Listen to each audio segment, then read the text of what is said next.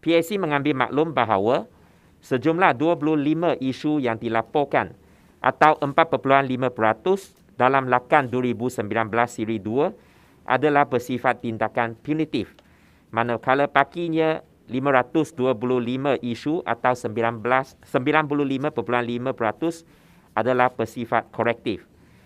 Jawatan kuasa ini memandang serius peningkatan isu yang bersifat tindakan punitif ini dalam lakan 2019 siri 2 berbanding dengan lakan 2019 siri 1 yang hanya mencatatkan 11 isu tindakan punitif. Suruhanjaya Pencegahan Rasuah Malaysia SPRM harus bersikap lebih agresif dan memandang serius isu-isu yang dibangkitkan dalam lakan yang dibentangkan. Sehubung itu, PAC menggesa SPRM melakukan siasatan dengan segera terhadap semua isu yang dikategorikan sebagai punitif.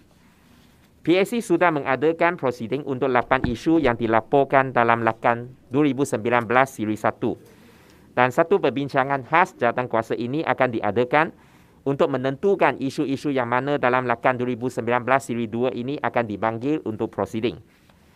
Antara isu yang berkemungkinan besar akan dipanggil oleh PAC dari lakan 2019 siri 2 adalah membabitkan Kementerian Kewangan dan Jabatan Custom di Raja Malaysia apabila sistem U Custom penilai 397.43 juta gagal disiapkan sehingga kini sejak ia dimulakan pada Oktober 2013.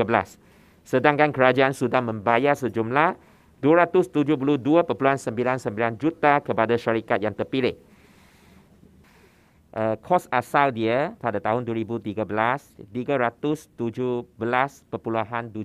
juta.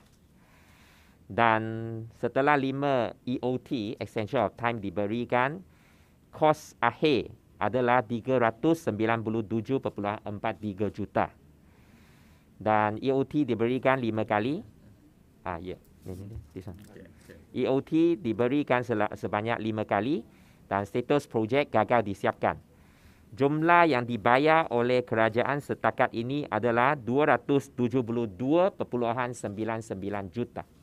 PAC akan terus menjalankan kerjasama strategik bersama dengan Jabatan Audit Negara khususnya Ketua Audit Negara telah memastikan perbelanjaan dan kewangan kerajaan digunakan secara berhemah dan memberikan pulangan yang terbaik kepada rakyat dan negara.